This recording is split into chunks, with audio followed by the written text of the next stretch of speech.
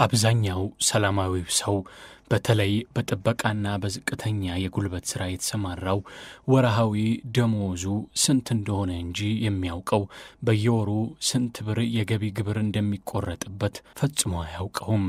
እኛ ይህን ያልናችሁ ከወር ደሞዛቸው የሚቆረጠው የገቢ ግብር ስንት ነው ስንላቸው አብዛኛዎቹ አናውቀውም ስላሉን ነው። እንዴት ነው ስራ? ስራ አሪፍ ነው። ምንድን ነው የምትሰራው? ያው ጥበቃ ጥበቃ ላይ ነው የሰራው። በወር የምታገኘው ደሞዝ ምን ያህል ነው? ደሞዙ ደሞዜ አራት ሺህ ምናምን ብር ነው የሚሉት የሚሉት የሚሉት አዎ፣ ግን የሚደርሰኝ ሶስት ሺህ ስድስት መቶ ምናምን ነው የሚደርሰኝ። እነሱ የሚሉት ግን አራት ሺህ ምናምን ብር ነው። አዎ፣ ስለዚህ የሚቆረጥ ብር አለ ማለት ነው። የሚቆርጥ ብር አለ። አዎ፣ ምን ያህል እንደሚቆረጥበት አታውቅም? አላውቀውም።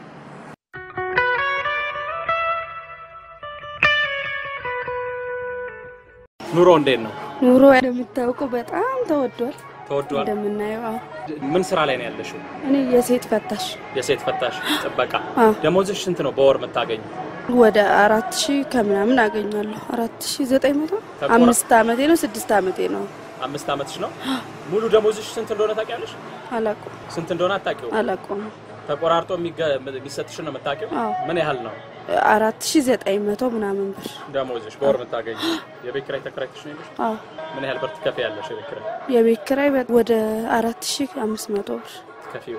ስለዚህ ከዚህ የወሰድሽውን እንዳለ ለቤት ኪራይ ነው። አዎ ያው ባለቤቴ ስለምረዳኝ እሱም ያው ተሯርጦ አምጥቶ እንትን ስለምን ልጆች አሉ፣ የምግብ አለ፣ ብዙ ነገር አለ። ጤፍ በጣም ጨምሯል። ዘይት እንኳን በአቅሙ በጣም ጨምሯል። ታክስ የሚባል ነገር አለ። አሁን መንግስት ከደሞዝ ላይ ታክስ ይወስዳል። ውጭም ላይ እንጀራ ስትገዙ ወይ ውሃም ስትገዙ ወይ ሽሮ በርበሬም ሲገዛ ታክስ የሚባል ነገር አለና ስለሱ ምን ታውቂያለሽ? ምንም የማውቀው ነገር እ? አላቅም ስለ ታክስ ስለ ግብር መንግስት ስለሚወስደው ግብር የምታውቂው ነገር የለም? ምንም አላቅም። ያው ተቆራርጦ እጅ ላይ የሚደርሰውን ነው እንጂ ይህን ያህል ይሄ የምንድነው የግብር ምናምን አላቅም። ማንን እንጠይቃለን?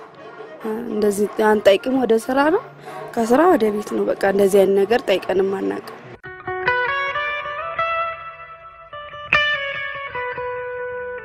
መንግስት አይቶ ቢቀንስልን፣ የቤት ኪራይ ማስተያየት ቢደረግልን፣ የደሞዝን ቢጨምር ለሰራተኛ የጉልበቱን እንዲከፈለው ነው ማስተላለፈው።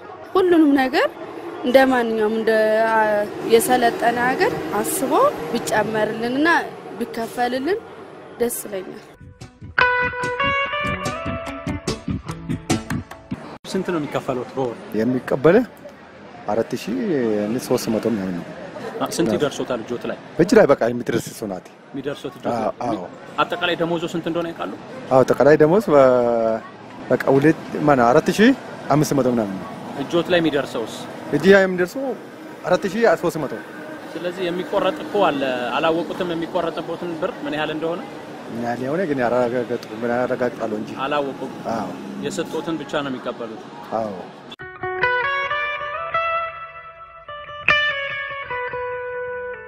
የገቢ ግብር፣ የተጨማሪ እሴት ግብርና ሌላውም በአይነትና በስያሜ ቅርጹን እየለዋወጠ የሚመጣው የሚጣለው ግብር ክብር ከፋዩን የተከበረውን ሰላማዊ ሕዝብ እየፈተነው መሆኑን ሰምተናል። አሁን አብዛኛ እኛ ከስራ ጋር ከኑሮ ጋር በጣም አስቸጋሪ ነው። ለምንድን ነው መንግስት ብዙ ነገር ስላለው ነው ዝም አለ እንጂ በቂ ሰው ስለሆነ አይደለም ማለት ነው። አሁን ቤት ኪራይ አሁን በአንስ በአንስ በቃ እየጨመረ ነው እየጨመረ ሄደ ነው ላቺ እኔ ራሴው ወደ እናንተ ይመጣለሁ ብዬ ነበርኩ። በጣም አስቸጋሪ ነው ኑሮ ማለት ነው። ህዝቡ ግን ምንም መላጦ ነው ከእኔ ጨምር ማለት ነው። እኔም አብዛኛ ቢነገር አሁን ሀያ አንድ ዓመት ነው ትግል ውስጥ ነበርኩ ማለት ነው። ከጦርነት ነው ተመልሼው ጡረታ ወጥቼ መጣ። ጡረታ ሲወጣው አንድ ሺ ስድስት መቶ ነው ተቀበልኩ። ከሳ መንግስት ሺ አንድ መቶ ጨመረ። አሁን ሁለት ሺ ሰባት መቶ ነው ከእጅ የሚደርሰው ከጡረታ ማለት ነው። አሁን እሱ ራሱ የቤት ኪራይና የኑሮ ራሱ አል- አልበቃም ማለት ነው። እና ይሄ ነው ወሰሪቢ አካባቢ ነው አከራይቼ ያለ ማለት ነው። ስንት ከራይ ነው? የአከራዩ አሁን ሁለት ሺ ሰባት መቶ በቃ ይሄ ጡረታ ወሰደ ማለት ነው። በቃ ጡረታ እሱ ነው የሚከት እቺ የሚወሰዱም ደግሞ ለምግብ በቃ እሱ ራሱ አዎ ለምግብ ብቻ ነው በቃ እቺ ምግቡም ራሱ ታክስ ይደረጋል። እንጀራው ሲገዛ ምኑ ሲገዛ አሁን እንጀራ ስገዛም በጣም አስቸጋሪ ነው። እንጀራውን በሀንስ ባንስ አንዳንድ ጊዜ አብር የምንገዛም አንድ እንጀራ አለ። አሁን አንዳንድ ጊዜ 15 ብር ነው።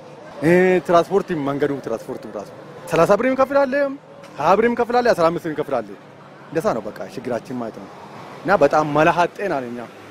እኔ ግን በሳ ከጦርነት ተመትቼ መጣው። አሁንም በቃ ተስቆም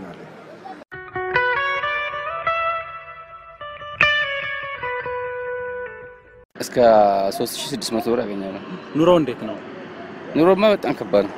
አሁን የኔ ደሞዝና ከኑሮዬ ጋር ምንም አይሄድም። አሁን ለምሳሌ እኔ የቤት ኪራይ ተከራይቼ ነው የምኖረው። ከቤት ኪራይ ጋር ደሞዜ እኩል አይሆንም፣ በቃ አይሄድም። ያው ሌላ ድጎማ በቤተሰብ ምናምን ካልሆነ የምኖረው ምንም አይነት አይገናኝም። ስንት ትከፍላለህ የቤት ኪራይ? እኔ 2500 ነው ስንት ክፍል ቤት ነው? አንድ ክፍል ቤት 2500 2500 ነው እና በቤተሰብ ነው የምኖረው እኔ አሁን እንጂ ደሞዝ ይጠቅመኛል ብዬ አይደለም የምኖረው። እጅህ ላይም የሚቀር ምንም ብር የለም። ምንም የለም። ያው 500 ምናምን ብር ብትቀር ነው። የቤት ኪራይ አዎ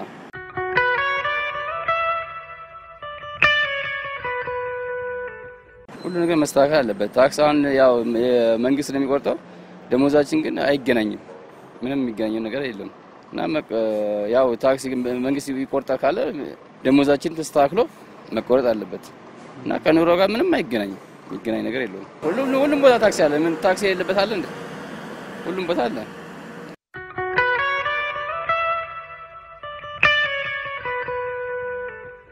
ለህብረተሰቡ ከዚህ ከታክስ ጋር ተያይዞም ያሉትን ነገሮች ቢያሳስብ ከደሞዛችንም እየተቆረጠ እንደገና እንደተባለው ጫማም እንግዛ ምግብም ሽሮም እንብላ እኛ ተጠቃሚ አይደለንም። ተጠቃሚ የሆኑት ባህሪ ሆቴሉ ናቸው። ገንዘቡ የሚቆረጠው ከኛ ላይ ነው።